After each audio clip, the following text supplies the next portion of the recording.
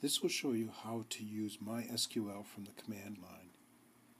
Go to the Start button, type in Run CMD, and that'll take you to the command line.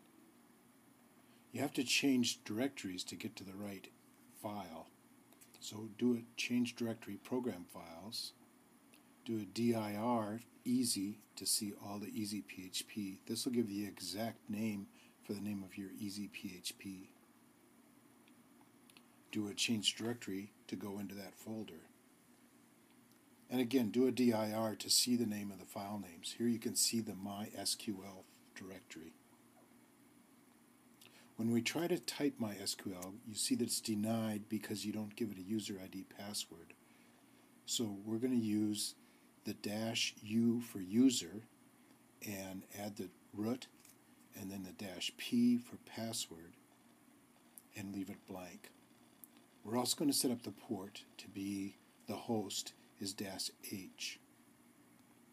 When it displays the password, simply hit enter.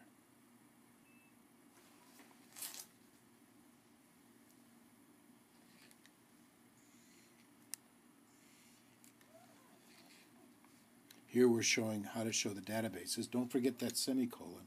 And you can see we have two databases.